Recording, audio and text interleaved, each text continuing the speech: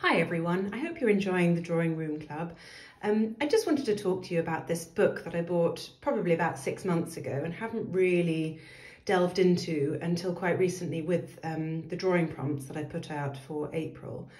Um, and I've been in touch with Kate Boucher about, um, about this book. I thought it was just so wonderful. There are quite a lot of instruction books out there and they tend to either be a little bit light in terms of content, you know, the sort of the way that the, the techniques are described and whatnot.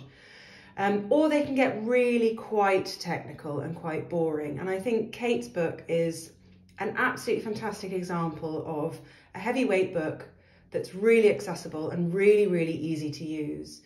Um, it gives you some fabulous ideas. I've been drawing with charcoal for decades. I absolutely adore charcoal, always have, and one of the reasons that I chose it for the first month of prompts.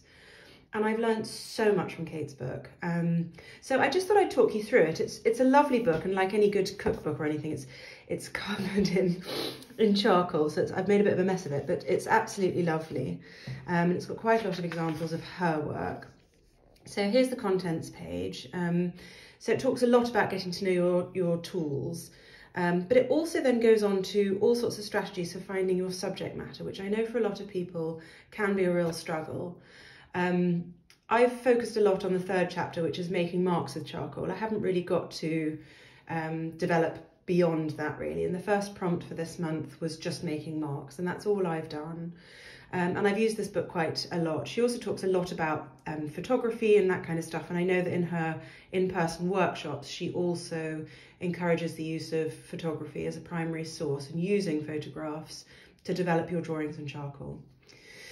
So I just thought I'd take you through the book just to give you an idea of what it is. There's a lot of books out there, you can't buy them all, but this is just, um, I just wanted to show you some of the book, some of the bits that I found really useful. So um, drawing cloths is something that I've never done before and I thought that was amazing.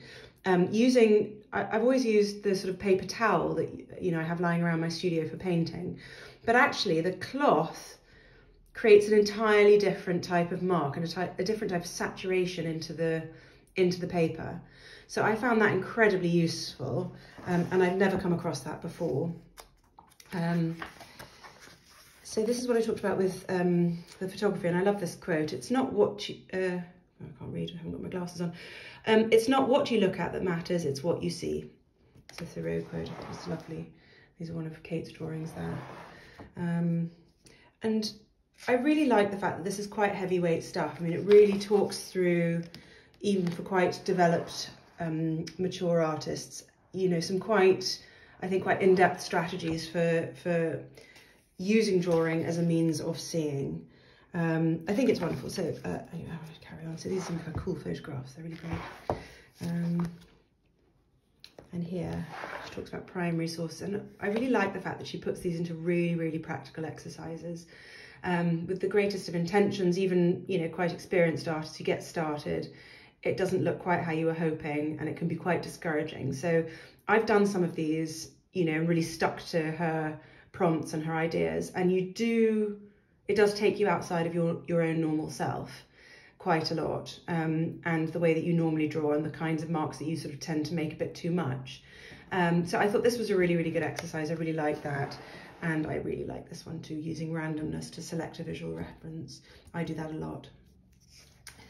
Um, then it goes on to all sorts of other stuff. I think this is just an exquisite drawing of Kate's and it just shows her sensitivity to marks and her just amazing knowledge of her medium. I mean, this this endless practicing of marks and things like that. I mean, it's so useful so that by the time, you know, what you've really understood how to use charcoal before you actually come to drawing a thing, you know, you just understand what happens if you use thin charcoal, th thick charcoal, liquid charcoal, um, if you turn the charcoal to the side and use the side of it, you know, these sorts of things. I mean, you can just see that maturity and that excellence within her, her, her tools. It's just wonderful. It's wonderful to see. So anyway, she talks a lot about um, this, this advanced language skills that she talks about in this. There we go. And I love this one. Deliberate and rescued mistakes. I think we can all relate to that. This idea of deliberately creating um, difficult marks that you perhaps wouldn't have thought you would want to make, but she encourages you to do that and to rescue them. But also sometimes you just make mistakes and then it's what to do with those mistakes. So anyway, there's lots and lots and lots there. I just wanted to give you a little brief introduction. This book is available online um, pretty much anywhere. It's a fabulous investment. I can't recommend it more highly. I've also been in touch with Kate and had a chat with her about um, some tips and some ideas for anyone out there who is learning to use charcoal. And she's agreed to answer a few of my questions, which I've given um, on the Drawing Room Club uh, page. So do check those out. Um, I hope you've enjoyed this and let me know if you're thinking about buying the book or if you have the book um, and any comments that you have. Thanks. Bye.